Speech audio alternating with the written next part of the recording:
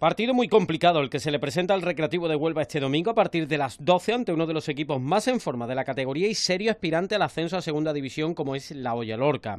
El conjunto albiazul que tras sumar cuatro puntos de los últimos 12 necesita reencontrarse con su afición y con el camino de la victoria para salir de unos puestos de descenso en los que ha entrado por primera vez en la presente campaña tras perder el pasado fin de semana en Mérida. Pero no lo va a tener fácil ya que enfrente estará un Lorca que apuesta fuerte esta campaña y que ha ganado seis de los últimos ocho partidos lo que lo ha colocado tercero en la tabla con 27 puntos y con opciones incluso de asaltar el liderato.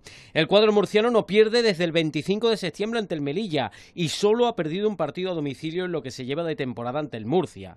Yo creo que tenemos que buscar esa solidez, esa regularidad en el juego. Eh, creo que aquí en casa la mayoría de los partidos pues hemos manejado más el, partido en sí, el tiempo con el balón, que el rival, pero no hemos estado eh, muy acertados en, varios partidos porque hemos quedado la portería, la portería cero en, algunos de ellos. ¿no?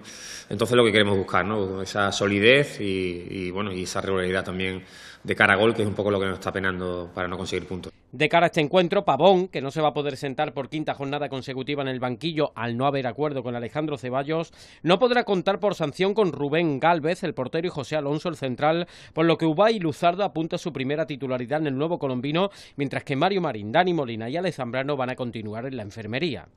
Las sensaciones, las últimas sensaciones son buenas, sobre todo de los dos últimos partidos, y toca eso, toca ganar para alejar fantasma, para coger confianza. Yo creo que el equipo lo que le falta es un poco eso, ¿no? Esa autoconfianza, eh, creer que hacemos muchas cosas bien, porque esa es la, verdad, y sumar en puntos que también es otra realidad y nos hace falta.